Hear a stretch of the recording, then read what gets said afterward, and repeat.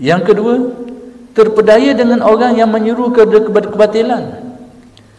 Antara masalah yang dihadapi oleh fuqara ni, dia terpengaruh dengan orang yang menyeru kepada kebatilan. Yang ni kebatilan ni mengajak kepada perkara yang bercanggah dengan syarak, bercanggah dengan tasawuf tu sendiri. Tanpa dia sedar.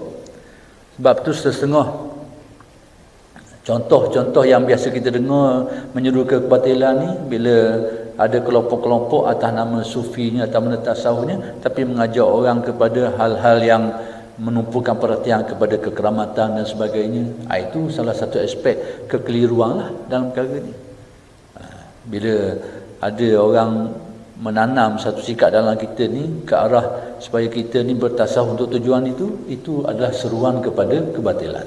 Salah satu contoh